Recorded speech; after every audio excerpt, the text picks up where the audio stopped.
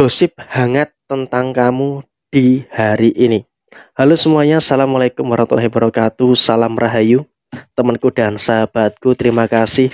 Masih setia di channel Zodiak Garian Satu-satunya di Indonesia, channel yang paling aktif dan responsif menanggapi request, konsultasi, dan pertanyaan dari teman-teman semua.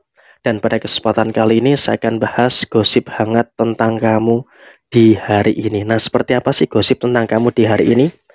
Di poin yang pertama, memang kalau bisa dikatakan ada beberapa pihak, ada beberapa orang yang selalu saja memiliki beberapa rasa iri, memiliki beberapa rasa dengki dengan beberapa keberhasilan-keberhasilan yang ada di dalam posisi diri kamu saat ini. Karena memang kalau bisa dikatakan saat ini kamu juga seharusnya bisa untuk lebih bersyukur dengan beberapa hal yang sempurna yang ada di dalam posisi diri kamu. Sehingga apa? Kalau bisa dikatakan saat ini kamu juga merasakan adanya beberapa hal yang baik, merasakan adanya beberapa hal positif yang terjadi di dalam kondisi diri kamu. Artinya apa? Kehidupan kamu semakin lama juga semakin merasakan adanya beberapa situasi yang sempurna, semakin merasakan ada beberapa situasi yang positif. Ditambah lagi, posisi finansial kamu juga semakin baik.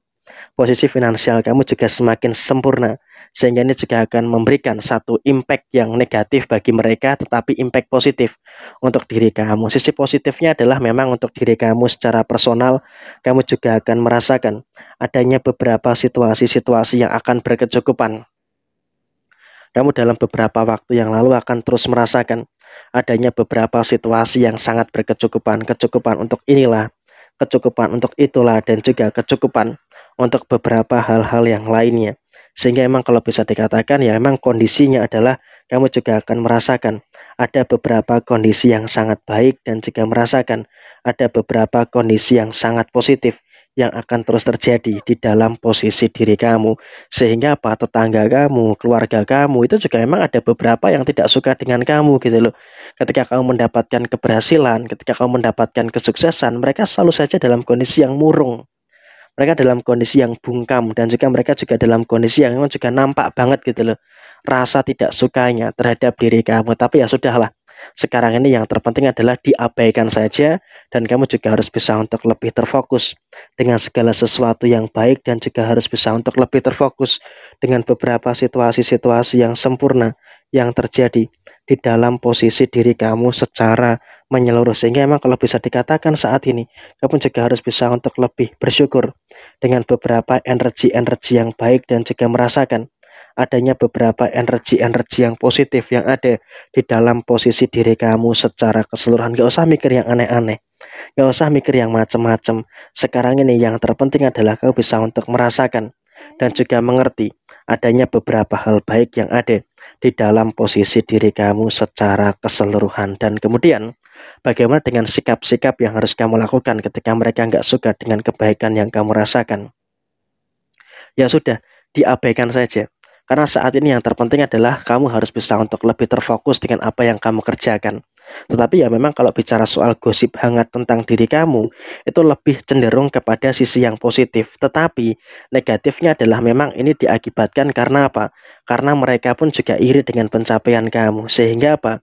dengan mereka iri terkait dengan pencapaian kamu sehingga inilah yang mengakibatkan hal-hal yang harus kamu waspadai kamu betul-betul harus lebih berhati-hati harus betul-betul bisa untuk lebih waspada dengan beberapa situasi yang terjadi. Karena kalau kamu tidak waspada tentu akan ada beberapa fitnah yang bisa menghancurkan kamu.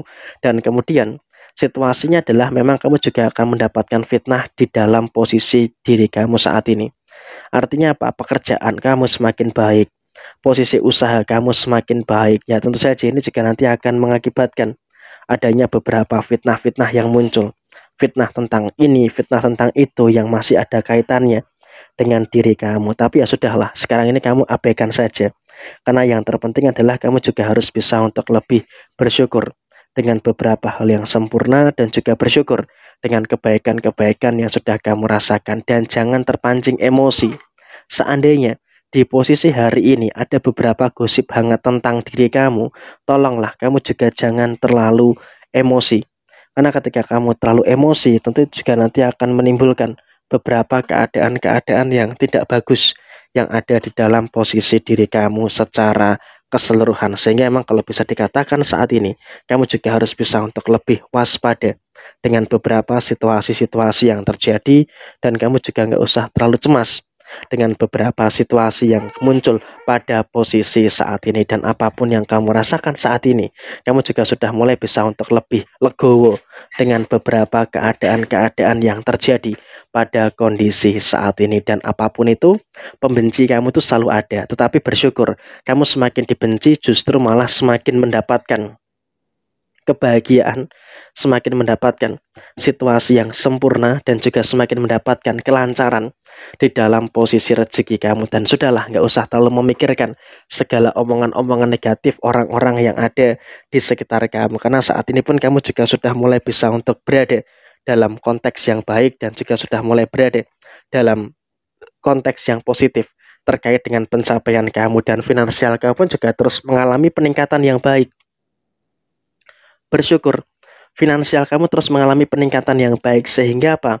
Ketika kamu dalam kondisi finansial yang baik, maka tentu saja akan ada beberapa orang yang iri dengan apa yang menjadi posisi rezeki kamu. Jadi ya sudahlah, abaikan saja. Sekarang ini kamu harus menikmati hal-hal yang baik dan juga menikmati hal-hal yang lancar yang ada di dalam posisi kerezekian kamu karena kamu pun juga terus bisa untuk bertemu dengan hal-hal yang baik dan juga terus bertemu dengan hal-hal yang positif yang ada di dalam posisi rezeki kamu. Jadi ya dinikmati dan juga kamu harus bisa untuk lebih sabar ketika menghadapi beberapa fitnah dari beberapa orang di sekitar kamu. Tapi ya terkadang yang bikin nyesek adalah fitnah dari keluarga.